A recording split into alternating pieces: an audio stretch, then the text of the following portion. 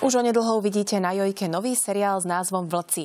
Je to príbeh plný napätia a vášne, voľne inšpirovaný skutočnými politickými vraždami z 90. rokov 20. storočia.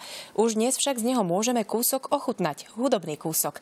Vlci budú mať na slovenské pomery nezvyčajnú titulnú pieseň, o ktorej vzniku nám viac povie autorka osobne.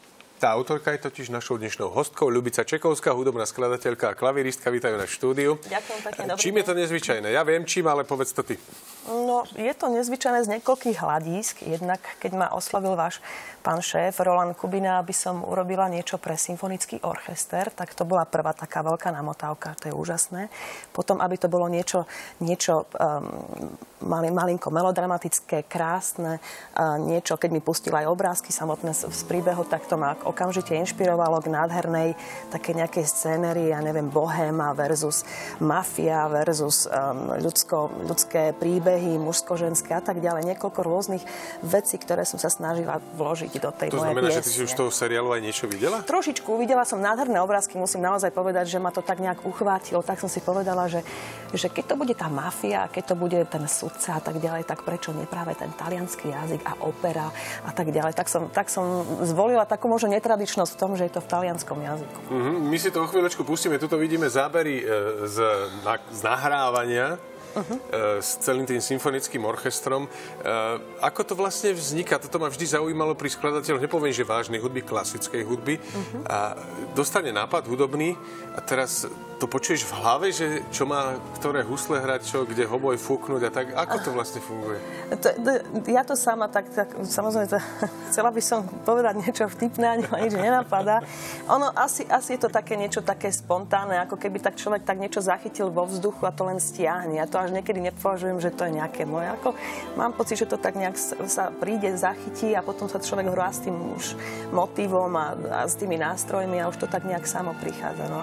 Asi je dobre trošku niečom o tom aj vedieť, byť erudovaný. Asi to sa áno, lebo všetci by sme celkom. inak boli skladateľmi klasickej ale, hudby. Ale nie, ale myslím si, že ono je to také akože je to aj dar od Boha samozrejme, ale, Určite. ale je to, veľmi sa teším, teda keď, keď to komunikuje, keď, keď sa to páči aj druhým, tak o to viac. Čiže e, jedna vec, zrejme nejaká základná melódia, to vznikne asi sama sebe, si si zahraš na klavíri alebo Áno, na áno, niečom. ono, ono to zväčša tak aj vychádza, že človek si zahra na klavíri, alebo ja keď komponujem vážnu hudbu, tak až tak ten klavír tam veľa nepou, nepoužívam, ale tuto som sa snažila vys- vyslovene aj s tým klavírom, keďže bude aj súčasťou toho, tej samotnej scénérie, bol tam aj klavír, tak som si to akože aj zahral na klavíri a áno. A potom začína tá otročina, lebo mám klavír a teraz rozpisovať triangel, tu musí urobiť Áno, cink, a tu áno. musí urobiť cink.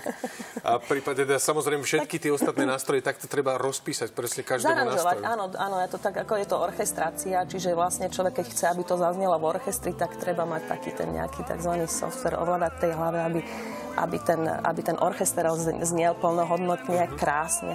A musím tu len vyzdvihnúť dvoch protagon- protagonistov, eh, Igora Kucera, ktorý sa ujal skvelého tenorového partu a Svetlany Rimarenko, ktorá, ktorá spievala ten mezzosoprán v, úplne v takom pop, pop žánri, čiže je to také, taká zmiešanina, ako keby opery a zároveň takého populárneho nejakého spevu. Tá pesnička nám už beží aj s obrázkami. Mohli by sme si to na chvíľočku vytiahnuť, aby sme počuli vôbec naozaj tú taliančinu, alebo prosím režiu, aby nám dala zvuk trošku hore, aby sme si to vedeli vypočuť.